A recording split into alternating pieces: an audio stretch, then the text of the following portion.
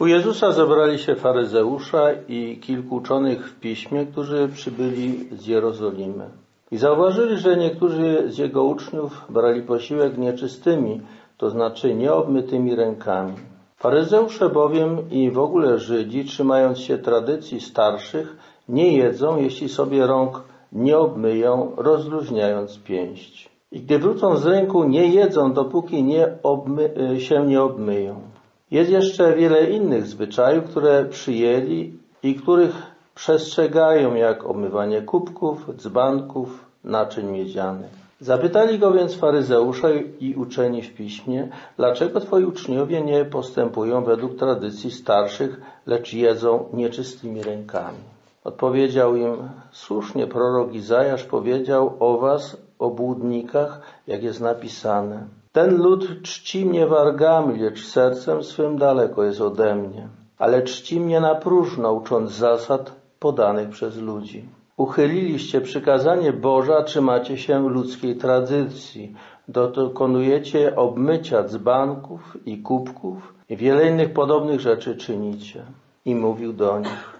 Sprawnie uchylajcie Boże przykazanie, aby swoją tradycję zachować. Mojżesz tak powiedział, czcij ojca swego i matkę swoją oraz kto złożyczy ojcu lub matce, niech śmierć poniesie. A wy mówicie, jeśli ktoś powie ojcu lub matce korban, to znaczy darem złożonym w ofierze jest to, co miało być ode mnie wsparciem dla ciebie. To już nie pozwalacie mu nic uczynić dla ojca ani dla matki. I znosicie Słowo Boże ze względu na waszą tradycję, którą sobie przekazaliście. Wiele też innych tym podobnych rzeczy czynicie. Jak miła Panie jest świątynia Twoja. Taki refren śpiewaliśmy dzisiaj, refren do psalmu. W pierwszym czytaniu mamy właściwie poświęcenie, tak byśmy to nazwali, świątyni Boga i piękną modlitwę Salomona, w której on po pierwsze wyraża takie zdziwienie i zdumienie, że czy Bóg w ogóle, Bóg, którego niebiosa nie są w stanie pomieścić, zamieszka na ziemi. Pan Wszechświata by miał zamieszkać w świątyni, która tak czy inaczej, będąc wspaniałą budowlą, jest jednak małym mieszkaniem w stosunku do Pana Wszechświata. A jednocześnie prosi, aby Bóg zwracał oczy na tych, którzy modlą się w tym miejscu i, by, i aby wysłuchał tutaj modlitwy i błagania.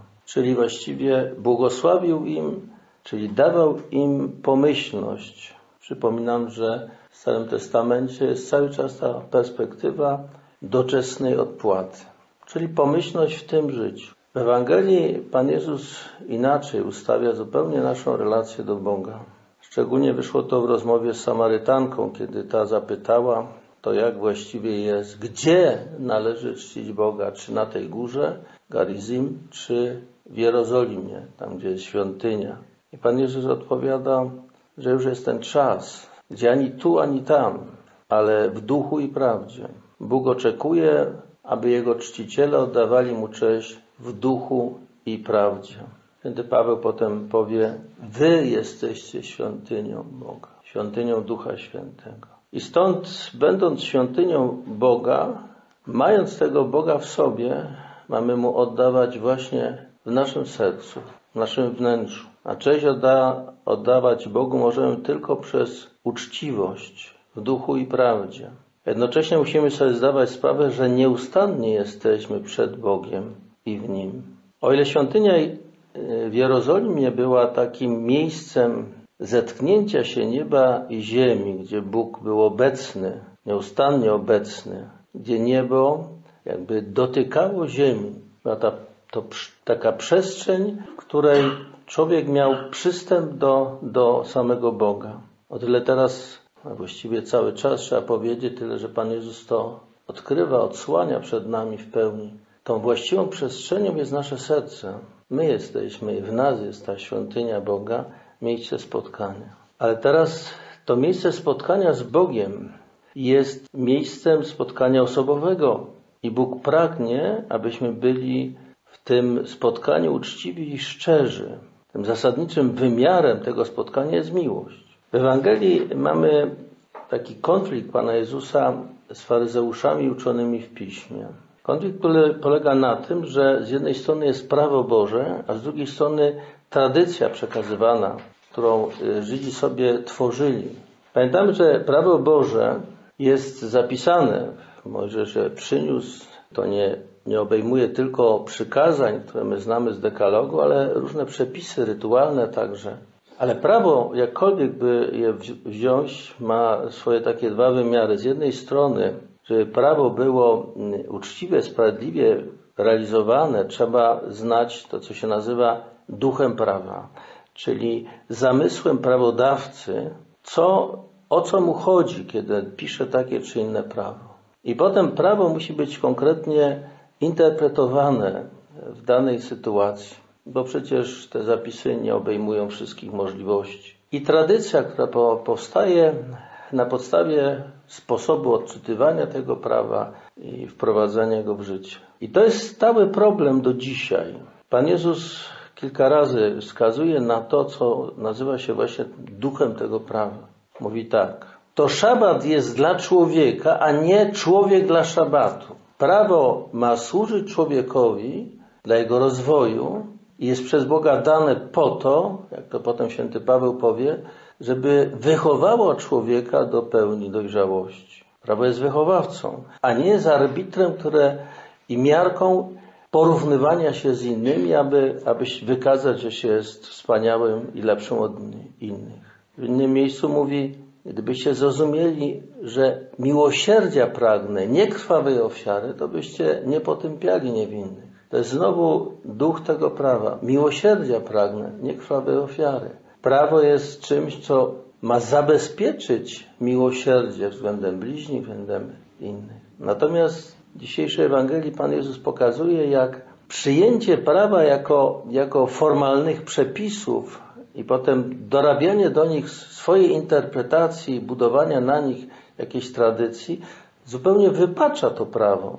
Wy uchylacie przykazanie po to, żeby zachować swoją tradycję. To, co wam się widzi. Mało tego, w pewnym momencie to, co jest waszym interesem, nazywacie świętym. Z jednej strony ta interpretacja i to takie e, budowanie ścisłych przepisów ma zabezpieczyć moje poczucie, że jestem ok. Wypełniłem literalnie odtąd dotąd i w związku z tym jestem w porządku. Wypełniłem przykazanie, jestem dobry. Dlatego też to pytanie tego, tego uczonego w piśmie, a kto jest moim bliźnim? Gdzie są te granice? Wobec kogo mi obowiązuje miłość bliźniego? To jest to myślenie formalno-prawne, bez zrozumienia, o co naprawdę w tym prawie chodzi.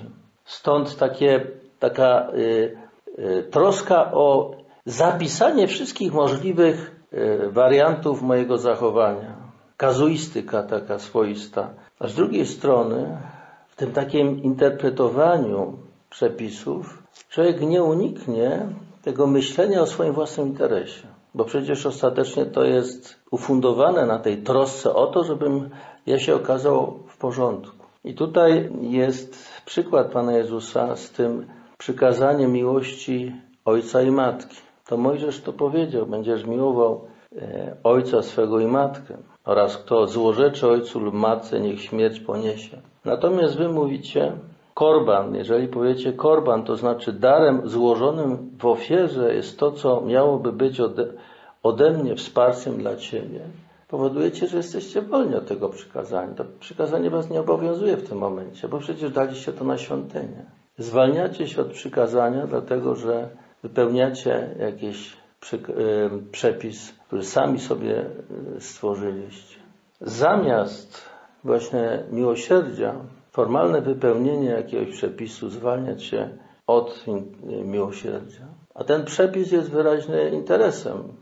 To nawet można powiedzieć interesem kapłanów, bo zależało im na tym, żeby jednak w świątyni były pieniądze. Podważacie to, co jest zasadą i fundamentem prawa, to z czego prawo wypłynęło i dlaczego zostało nadane? Po to, aby realizować swoje.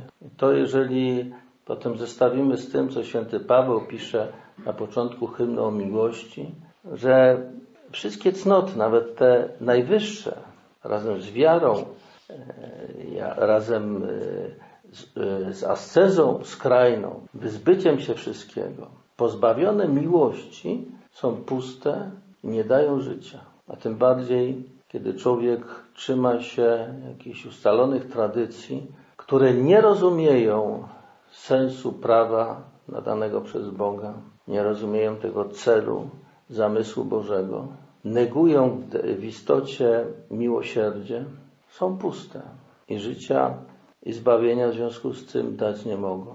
To jest podstawowy spór Pana Jezusa z faryzeuszami i uczonymi w prawie. Jego Ewangelia w istocie jest dobrą nowiną o, o Bogu, który jest miłością, jest Ojcem miłosiernym. I tylko e, właściwie dlatego, że jest Ojcem miłosiernym, my mamy szansę na zbawienie, na udział w Jego życiu. Gdyby On nas rozliczał według prawa, to nikt z nas nie miałby żadnych szans, żeby wejść do Królestwa Bożego.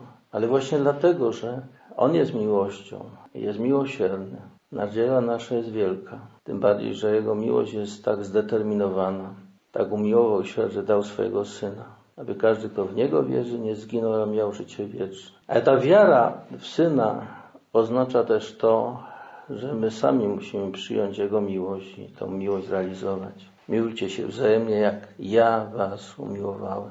Na tej drodze e, miłości do zbawienia daje nam siebie samego za pokarm. Właściwie daje nam swoją miłość, którą się karmimy, aby, abyśmy sami nią żyli i dzięki niej żyli.